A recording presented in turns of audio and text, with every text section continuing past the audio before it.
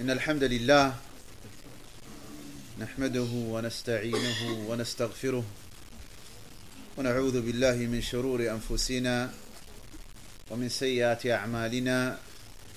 من يهده الله فلا مضل له ومن يضلل فلا هادي له. أشهد أن لا إله إلا الله وحده لا شريك له.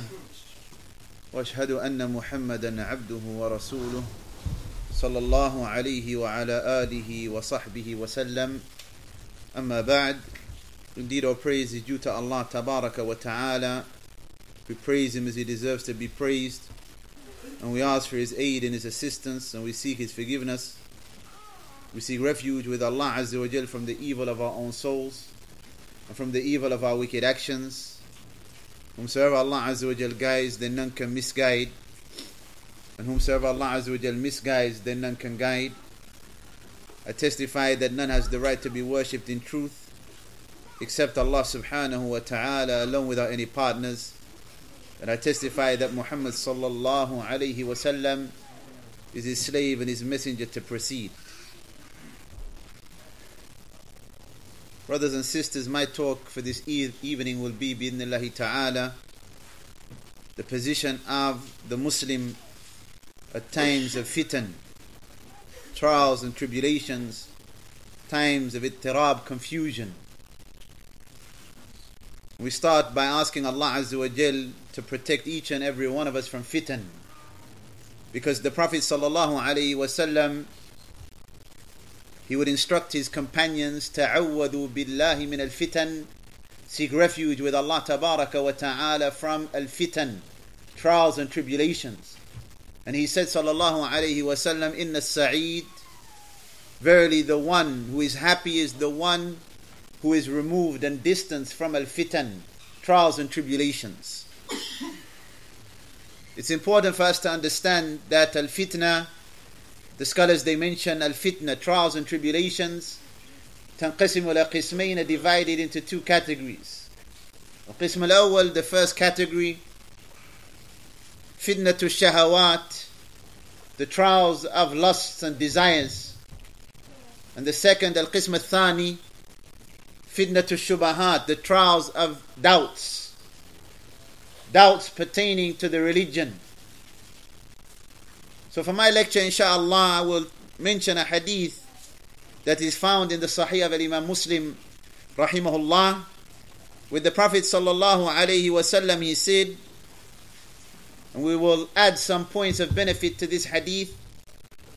قال صلى الله عليه وسلم إنه لم يكن نبي قبلي There was never a prophet before me إلا كان حقا عليه أن يدل أمته على خير ما يعلمه لهم except that it was upon him there was never a prophet before me except that it was upon him to direct his nation to all that was good which he knew for them وأن ينذرهم and to warn them شر ما يعلمه لهم of all evil that he knew could befall them. So now there was not a prophet before Prophet Muhammad sallallahu alaihi wasallam illa kana haqqan alayhi except that it was upon him to warn his nation about every form of evil and likewise to direct them to every form of good. And we know that the Prophet sallallahu alaihi wasallam ma baqiya shay'un yuqarribukum ila al-jannah. There is nothing remaining that will bring us closer to paradise and distance us from the hellfire except that the Prophet sallallahu alaihi wasallam explained it and clarified it to us.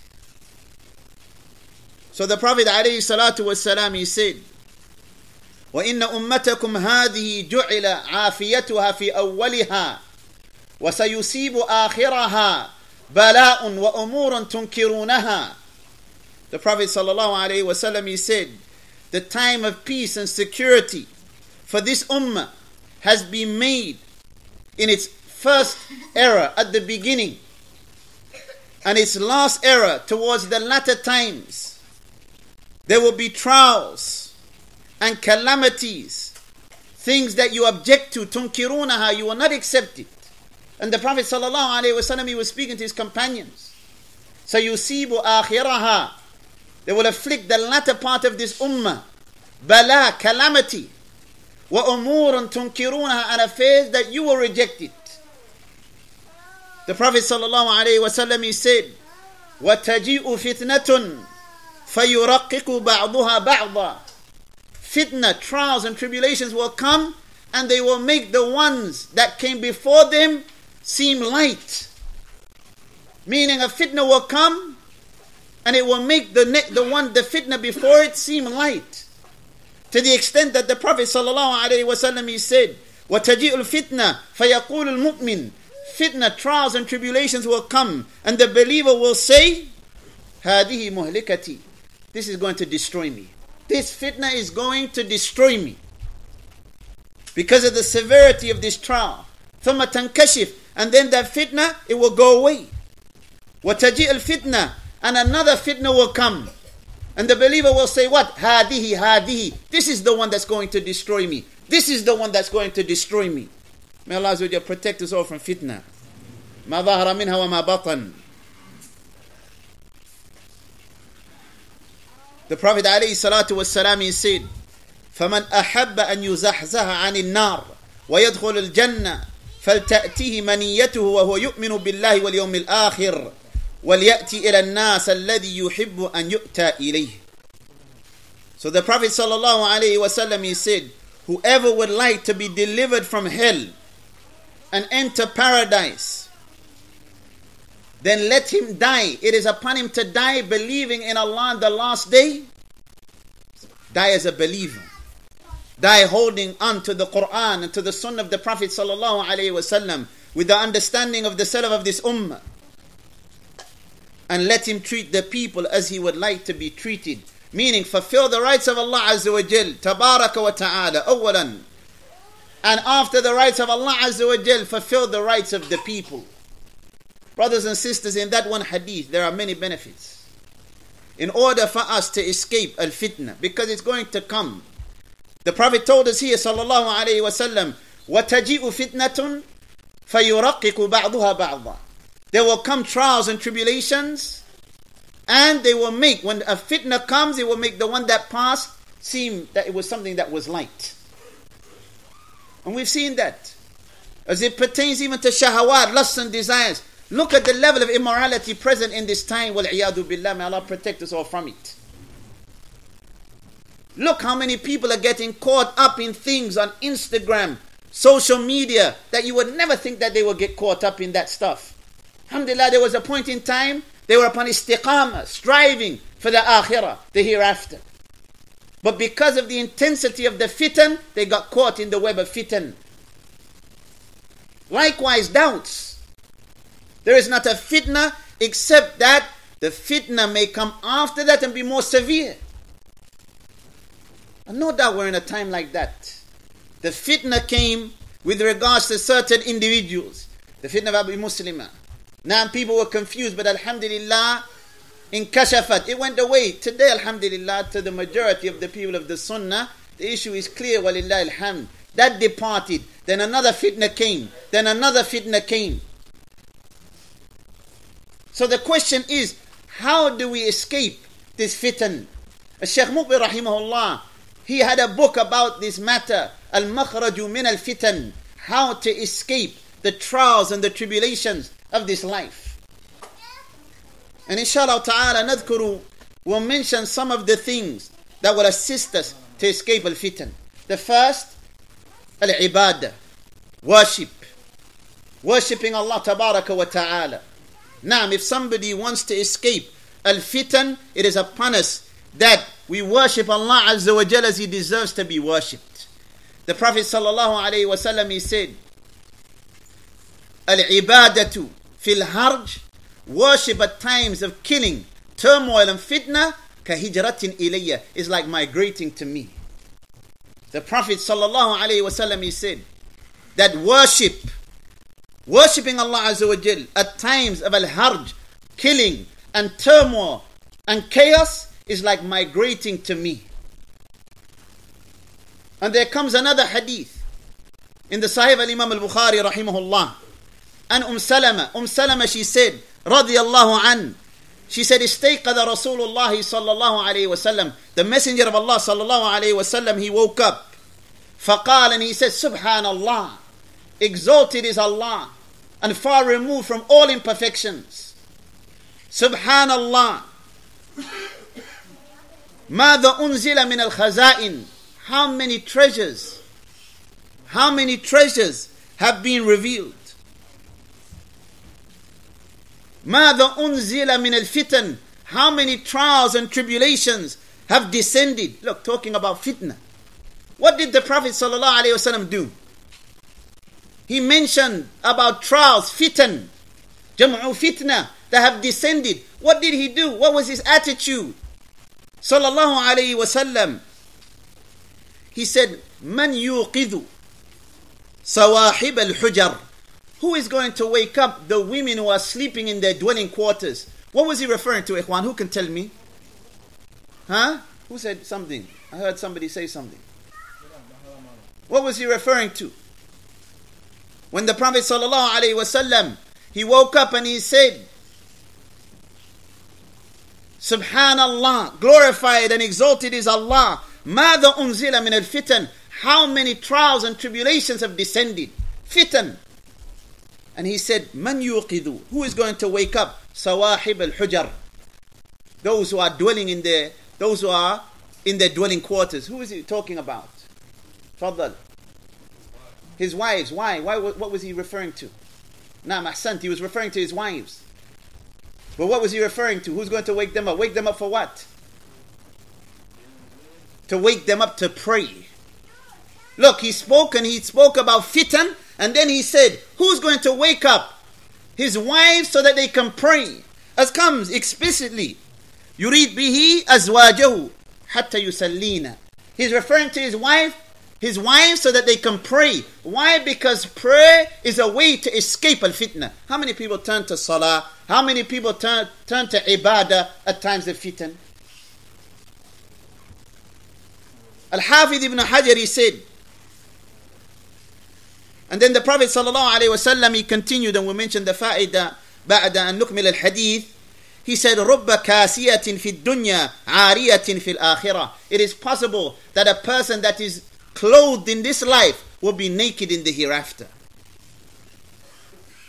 Ibn Hajar he mentions one of the benefits of this hadith في الحديث استحباب الإسراع إلى الصلاة عند خشية الشر. A benefit from this hadith that it is highly recommended to rush to pray when you fear evil. When we fear fitna, we should rush to pray to the worship of Allah wa ta'ala to the obedience of Allah Azza wa Jal.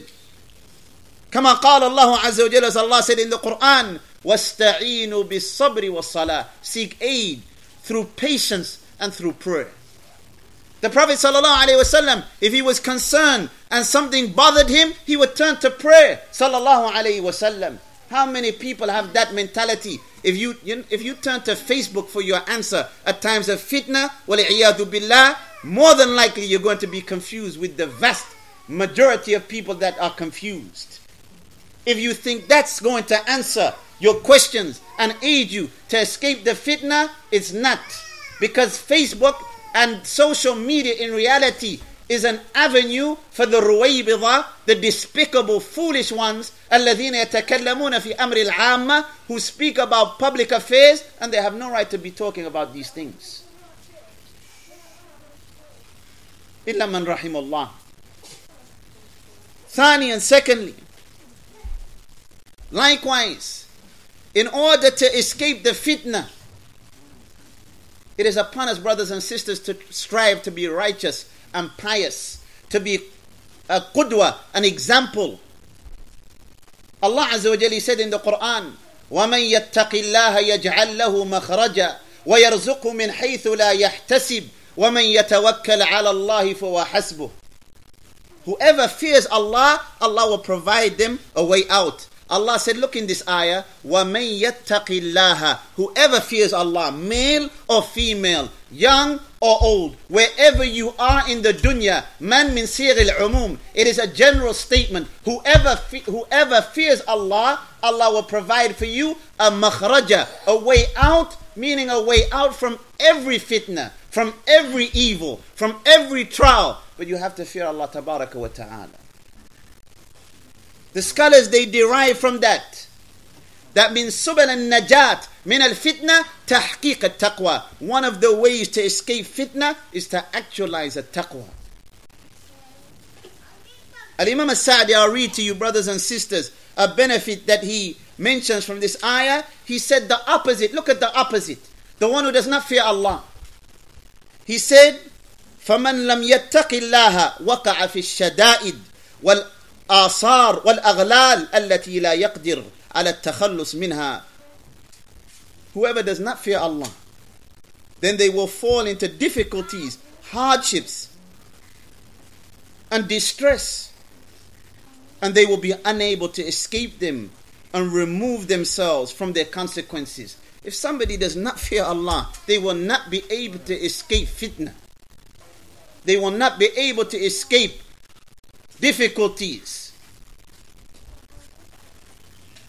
So that's the second thing piety, not exposing sins, al ma'asi, not disobeying Allah tabaraka wa ta'ala.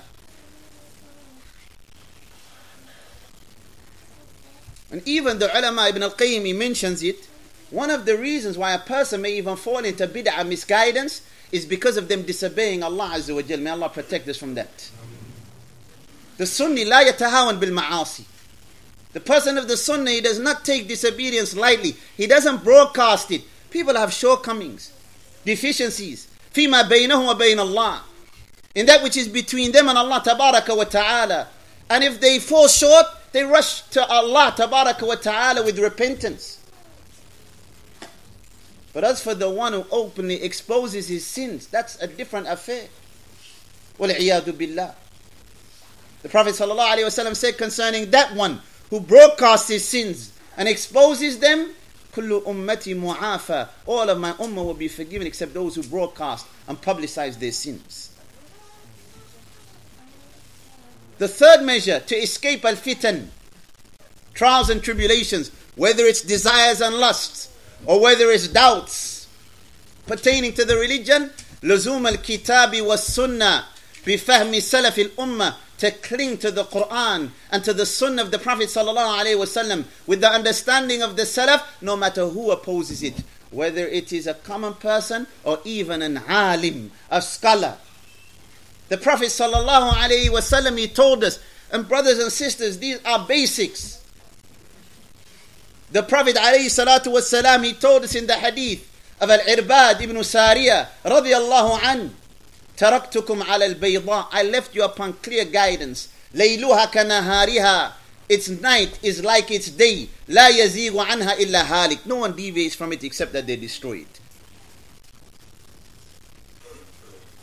He said من يعيش منكم Whoever lives long from amongst you فسيرى اختلافا كثيرا He will see much differing fitan We all agree that اختلاف is fitan right Differing disputing, separation is fitna.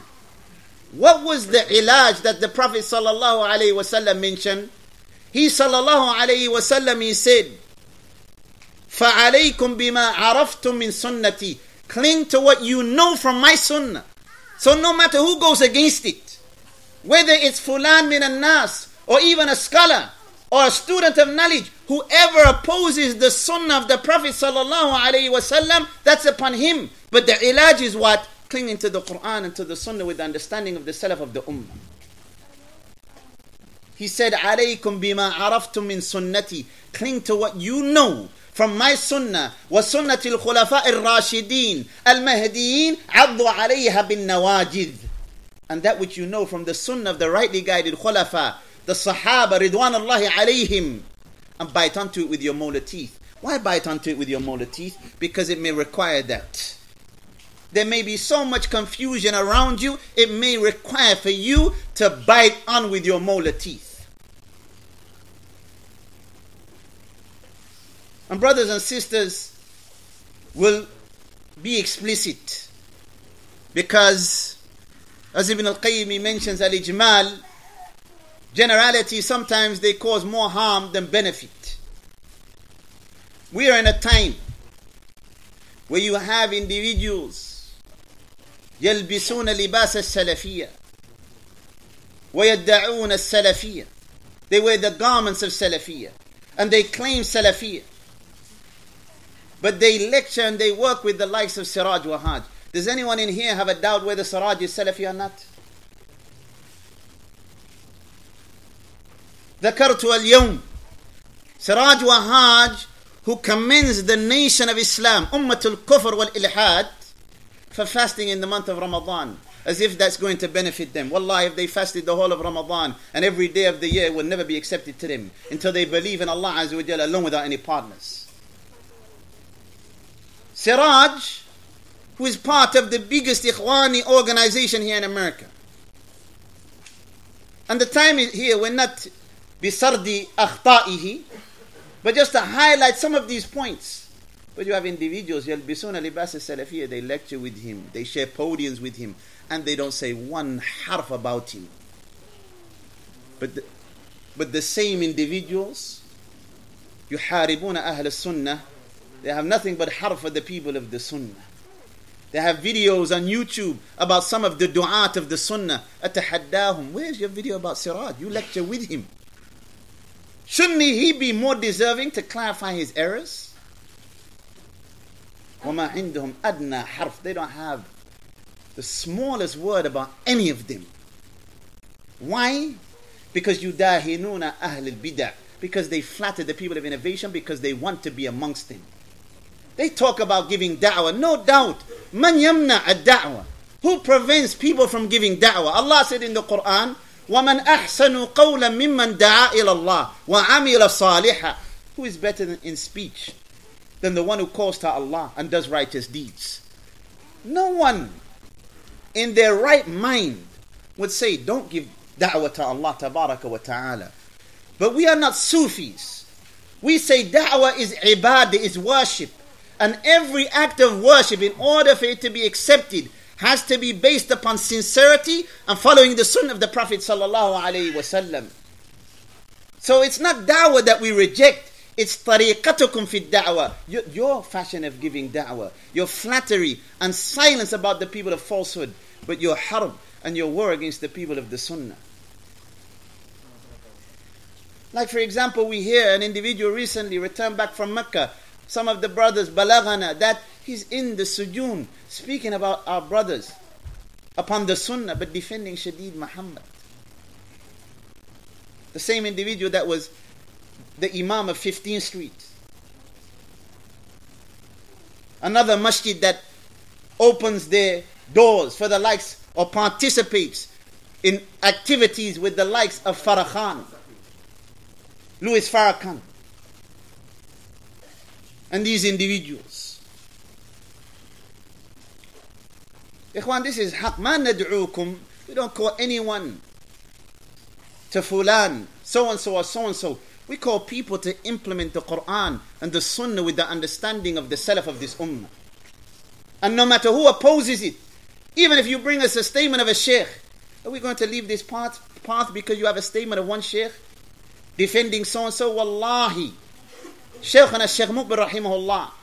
When they asked him about Al Muntad al Islami in the UK, and they said, but Sheikh Ibn Baz praises them, and Sheikh Ibn Uthaymeen praises them. Sheikh Muqbil said, that was before the Harb of Khalij, before the Gulf War, possibly. He said, and if they're praising them afterwards, he said, and they know their hal, then we don't agree with them in that. Why? Because the Sunni, we base our positions upon adillah, proofs and evidences. And I'll close with this point, Ikhwan, because our brother Anwar, inshallah ta'ala, he will give his talk next. The last thing to aid us escape al-fitan is what? returning to the ulama, the scholars of Islam, Al-Rabbaniyun, the elders, not just any scholar, the elders. As Allah Azza wa Jalla says in the Quran, Tabaraka wa Ta'ala, إذا جاءهم أمر من الأمن أو الخوف أذاعوا به. When there comes to them a matter related to public safety or public fear, they spread it. ولو ردوه إلى إلى الرسول but if only they returned it to the messenger صلى الله عليه وسلم وإلى أولي الأمر منهم لعلمه الذين يستنبطونه منهم if only they returned it back لعلمه الذين يستنبطونه منهم if they returned it back to the messenger صلى الله عليه وسلم and they returned it back to those in authority the umara the leaders and the scholars then the scholars would derive the necessary verdicts ولولا فضل الله عليكم ورحمته لاتبعتم الشيطان إلا قليلا If it wasn't for the mercy of Allah and His grace, you would have followed the devil except for a few of you. We'll give an example. how people, if we do not return back to the scholars, it's a way of destruction and being destroyed in fitna. Al Hassan al Basri, what generation was Al Hassan from? Who can tell me? Fadl Yahi. Hassan al Basri. Fadl. No, he was from Al Hassan al Basri. What Zaman? He said Atba at Tabi'een. Huh? Juraj. Tabi'i. Anybody have anything different? Al Hasan al Basri. Rahimahullah ta'ala. During his time, the people they were going out to rebel against Hajjaj. Fitna. Turmoil. Some of the people they were going out, Al Hasan al Basri, he said, وهو ممن اعتزل الفتن he stayed away and he refrained from that. He said, Ya ayyuhan nas, O people. He said, Wallahi ma sallat Allahu alaykum al-hajjaj. He said, by Allah, Allah did not place hajjaj over you except illa uqubatan, except as a punishment for you. Allah did not place hajjaj over you except as a punishment for you. فلا تعارضوا عقوبة الله بسيوفكم he said, So do not oppose or try and oppose the punishment of Allah with your swords. You're not going to do nothing with a sword, you're just going to bring more chaos. What did he advise them with? He said, It's upon you to be calm and to turn to Allah Azza wa and make dua and supplicate to Him. Allahu Akbar. Look at that. Look at the difference between the sufaha, the fools, who are going out to re- rebellion upon emotions, hawa, and the individuals, alhamdulillah, who are upon ilm, Al Hasan al Basri said, No, no, no, this is not the way. The way is what? Quran, Sunnah, understanding of the Sahaba. We do not rebel. Be patient. The way of the foolish was what? Go out and rebel. And that's why Shaykh al-Islam ibn Taymiyyah, he said, إِذَا وَقَعَتِ الْفِتْنَةِ When the fitna arrives, it's not possible to repel the harm of the foolish. It's difficult. So, ikhwan, these are some simple guidelines, simple ways for us, alhamdulillah, to remain firm upon Quran, Sunnah with the understanding of the Salaf of this Ummah. Simple, alhamdulillah, not difficult. If we remain upon alhamdulillah that which we have known for the last 20 years, 25 years, the da'wah of our brother Abu Wais rahimahullah, the da'wah of the brothers alhamdulillah who have been calling persistently upon that path, alhamdulillah we will be safe, bi'idhnillahi ta'ala.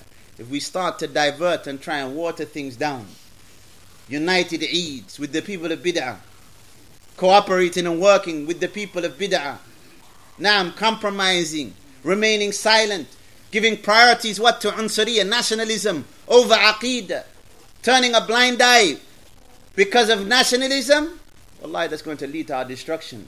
And the ulama, Sheikh Muqbil rahimahullah, more than than 15 years ago, he warned us he said, I advise you, brothers in America, be careful because people, they will come and they will try and divide you based upon racial lines. This is an Arab.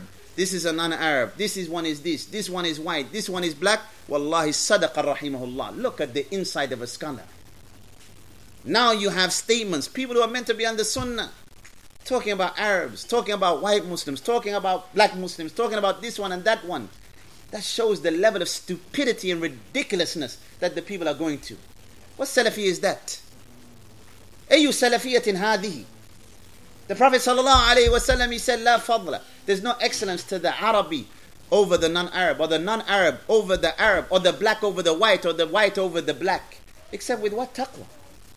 The Sunni doesn't entertain nationalism and racial and get involved, immersed, and allow the lines to be blurred because of nationalism. I'll ask anyone here give me one nationalistic movement that has ever been successful. And I will quote to you nationalistic movements that have led people to commit kufr in Allah Azza wa Jal. Because of emotions, they get tied up in these issues to a level that they disbelieve in Allah because of nationalism.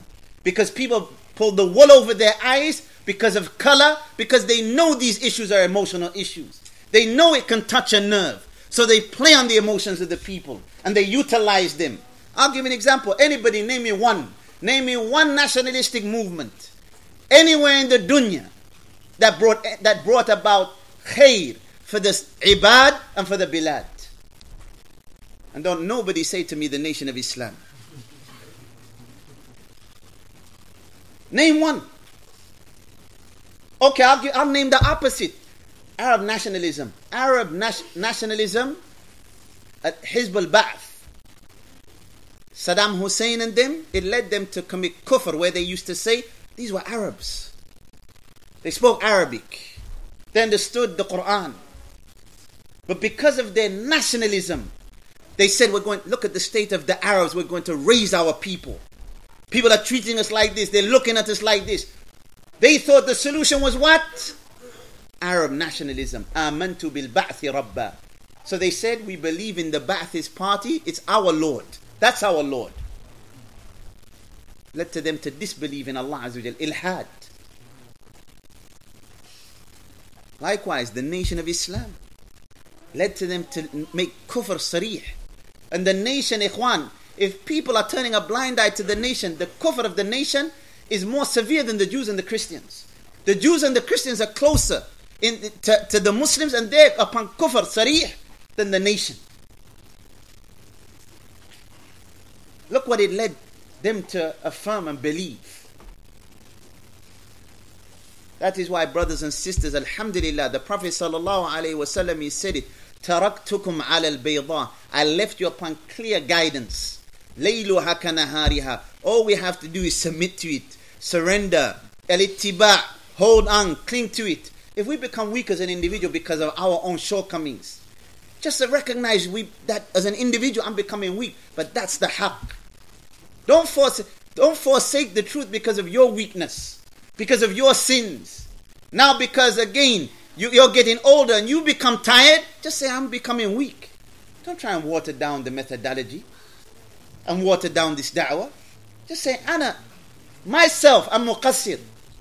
Because you find some people doing that. And we mentioned that, brothers and sisters, in the khutbah on Friday, the older we become, the more firm we should become. The older we become, the more firm on the sunnah we become grazing our beard. We shouldn't start now watering stuff down. Oh, let's all be one happy family like the Ikhwanis. We unite upon what we agree and we turn a blind eye about what we, what we differ. It doesn't matter if he's a Sufi. It doesn't matter if he's Kether. Just why can't we just all get along? You have grace in your beard and you're taking that now? Wallahi, that's a calamity and a bad sign. We mentioned the hadith. The Prophet ﷺ, said, when he was asked, Ayyun nasi khair, who are the best of the people? He said, Man tala umruhu wa hasuna amalu. The one whose life is a long life and his deeds are good deeds. He becomes stronger. After the, the older he becomes, he becomes firmer on the sunnah. He becomes more righteous and pious. His relationship with Allah Azza it becomes stronger because he getting closer to the grave. Not the opposite way around. Now you start getting grace and you start becoming shaky. You know, now you, you, go, you have grays in your beard and you're at the ISNA conference because one of your students that came back from overseas is there. What tamasuk is that? That's all it took. Not even money. Hakada. Brothers and sisters, it's clear. Then the Prophet ﷺ was asked, Who's the most evil of the people? He said, Man tala umruhu wa sa'a amalu. The one who lives a long life. His life is long, but his actions are evil. He lives a long life, but his actions are evil.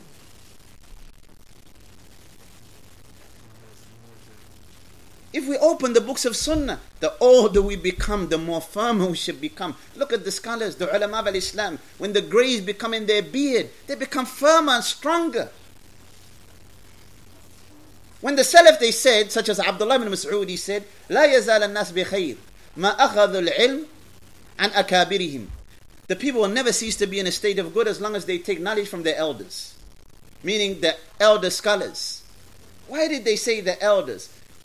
The ulama they explained that they said elders it can have two meanings. It can mean people of sunnah, not people of bid'ah who are asagir, or it could literally mean elder, meaning the ulama who their beards have, have, have gone grey. Why is that? Who can tell me why? Limada? Why? That this ummah will ne- not cease to be in a state of good as long as they as long as they take knowledge from their elders, meaning the elder scholars, not these young ones. Yes, because when you're grey in your beard, grey in your you've gone old defending the sunnah, calling to tawheed, warning against shirk, calling to sunnah, warning against bid'ah, calling to obedience, warning against disobedience. You have grey in your beard now. It is hoped and expected from a person of knowledge that Alhamdulillah you try and tempt him with anything of the dunya. You come to him with money, the grave's around the corner. You come to him with what? Women, the grave is around the corner. Shahawat, he's not going to be moved by that. Take that to a young person, see what happens. Show him a nice car. Give him a bit of money. Look what, what happened to some of the Khawarij. Abdurrahman ibn Muljim. When he, he was trying to get married, he saw a woman, he, he liked what he saw. He wanted to marry her. She said, My dowry to you is what? One of the things, go and kill Ali ibn, Ali ibn Abi Talib, wal billah, radiallahu anhu. Women. She said, Now, my dowry, one of the things, if you want to marry me, go murder Ali radiallahu anhu. A man who loved Allah and Allah loved him. But the one who has grey in his beard, the sheikh, the alim, you can't catch him like that. You can't catch him like that. That's why Shawkani said that majority of the problems come from a tabaqat al-wusta, meaning people they're not scholars, rabbaniyun, but they're in the middle. They're not ignorant where they're common folk, they're in the middle. Likewise, bid'ah, innovation, the scholar, the one who's gone grey on the sunnah, it's hard now for you to bring him a doubt. And he's going to be fooled and accept innovation after he spent his life calling to Tawheed, warning against Sunnah, calling to Sunnah, warning against Bid'ah. You come to him with something that is a doubt about the religion, he's going to refute it. Because he's gone grey in his defense of the Sunnah. May Allah bless us all to be like that, ikhwan. Wallahi, may Allah bless us to be like that because some people, you know, unfortunately, they were fervent when it came to, you know, let the Sunnah go forth and don't stop it with Abu Muslima. On falsehood. We're not calling to no hizb. We don't have no slogan. We don't have no jama'ah.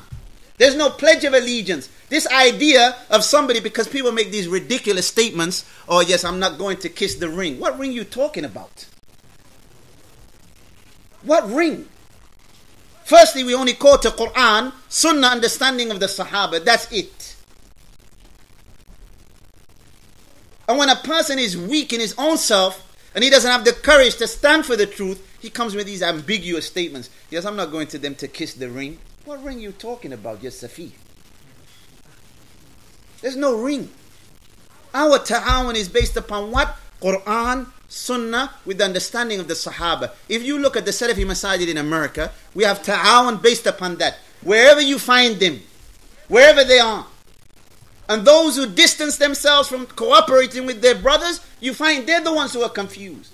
They're the ones who have the who have problems because they're ba'id. They're far, and the devil he devours the lone sheep. He devours the lone sheep, the one on their own. If you look to all the masajid all around the country, we cooperate upon what? There's no kissing of rings. It's based upon Quran, Sunnah, understanding of the Sahaba.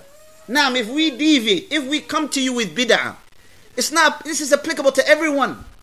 Whether it's, applic- it's applicable to me and other than me. نحن ما ندعو إلى حزب ولا إلى جماعة ولا إلى شيخ معين. We don't call to no group, no party, or no specific sheikh in, in his essence. نحن ندعو إلى القرآن was sunnah ala fahmi salaf al-ummah. We quote the Quran, sunnah with the understanding of the salaf.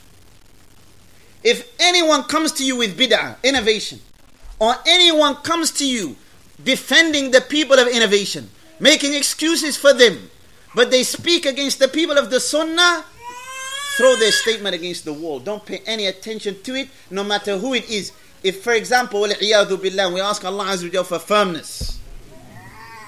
If, my, if I come, say something that's bid'ah, innovation in the deen, reject it. Alf marra. Imam Malik, he said, كل يؤخذ من قوله ويترك. Everyone's statement can be accepted or rejected. Except for the one, the inhabitant of that grave, the Muhammad sallallahu alayhi wasallam, Nabiyuna wa Rasulullah sallallahu alayhi wasallam. Everyone's statement can be accepted or rejected. Whoever, this is what we call to. There's no ring to kiss. Maybe you're kissing a ring and we don't know about it. With the people of innovation and you're taking their handouts or you're taking their scraps from under a table. Because we heard stories when people were the imams in these masajid and they tried to bring over mashayikh and they said they went to certain masajid that are not interested in hosting people of knowledge. I think they gave them a few, I can't remember exactly the amount of dollars, but they gave them virtually nothing because they're not interested in bringing mashayikh or people of knowledge. But Farrakhan comes, they give him the red carpet. They give him the red carpet. The Honorable Minister Farrakhan wal billah. Yulaqibunahu. And the, the, the shura, the committees of these masajid, they're there. Not based upon speculation, their pictures are there. They promote it, they advertise it. And you have some graduates lecturing with these people, with the present with these people. We had at a haddakum. We say to them, bring us your condemnation of their mukhalafat, their innovations. You're going to a certain masajid, we know that they have bay'ah, they give pledge of allegiance to the imam of the masjid. Give us, present to us where you've condemned that. You can't because they would throw you out on your ear, and you know that. Brothers and sisters, this da'wah is clear, alhamd minna. And this da'wah requires men. And when we say men, not some people who pretend to be men on social media where they have everything in the world to say. Men in terms of standing for kitab, sunnah with understanding of the salaf of this ummah, whether it's for you or against you. The salaf they said, أهل sunnah يذكرون ما لهم وما عليهم. أهل السنة they mention what's for them and against them. أهل البدعة لا يذكرون إلا ما لهم. The people of innovation, they only mention to you what is for them. May Allah Azza grant us tawfiq and may Allah Azza grant us firmness. Any clarification needed about anything that was said? Faddal.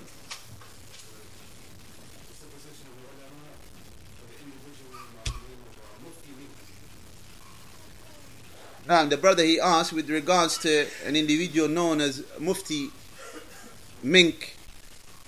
I mean, I've heard some statements of him. I can only judge based upon what I've heard.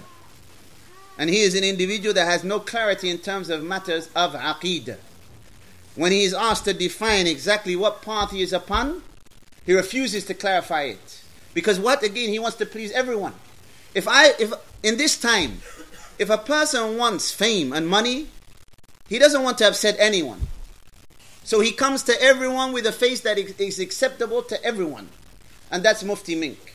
When they've asked him to clarify what is your aqidah, what is your methodology, he'll start off by saying, I don't like these terms, I'm not going to define myself, ila akhirihi. Limadha? Shaykh al-Islam ibn Taymiyyah, when they asked him, a book that our children have memorized, they came to Ibn Taymiyyah, either they asked him because they wanted to know, or they came to him نعم الذي يغلب على الظن يعني المنظومة له والله أعلم. They asked him or they wanted some direction. He said يا سائلي عن مذهبي وعقيدتي رزق الهدى من للهداية يسأل. اسمع كلام محقق في قوله لا ينثني عنه ولا يتبدل. He said يا سائلي the questioner who is asking me about my aqidah my belief my madhab my doctrine يا سائلي عن مذهبي وعقيدتي رزق الهدى من للهداية يسأله May Allah guide the one, the one who is asking for guidance. Make dua for the questioner. Doesn't become upset when somebody asks him, Akhi, what's your aqidah? What's your methodology? How can you become upset? إن هذا العلم دين فانظروا عمن تأخذون دينكم This knowledge is your religion. Look where you take your religion from. So he said, Isma' kalama muhaqqiqin fi qawlihi. Listen to somebody that's muhaqqiq. He's arrived at the truth based upon proofs and evidences. لا ينثني عنه ولا يتبدل. He will never divert from it. He will never turn away from it, meaning this manhaj and this aqidah.